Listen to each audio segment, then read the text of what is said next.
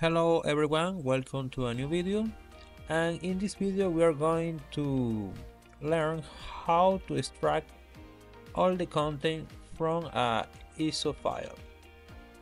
To do that I am going to use the Ultra ISO software. In this case the first things that I'm going to do is create a new folder. I am going to extract the Premiere Pro 2024 program. I create the new folder. And I'm going to open the software. I am going to leave you the link to download this program. So I am going to search the ISO file that I want I want to extract open. And you can see all the content in this software. So I need to search the folder where I'm going to extract all the content. So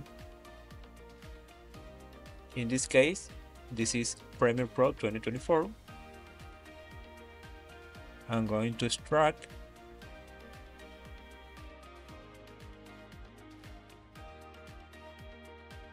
say yes and we proceed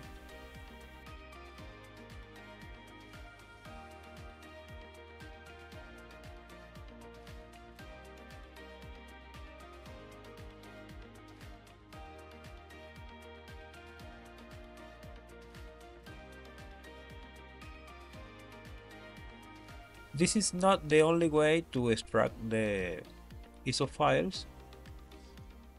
There is another way.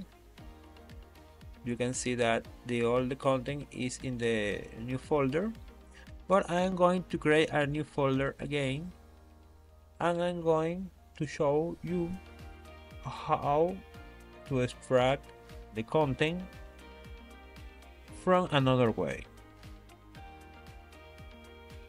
In this case my folder is empty and I'm going to do a right click in the ISO file and I'm going to extract and search the folder Premiere Pro 2024 2 and the program start to extract.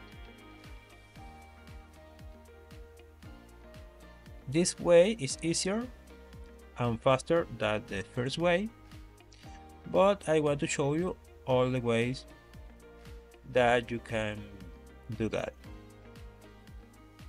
You can see it's the same information. So that's all for this video.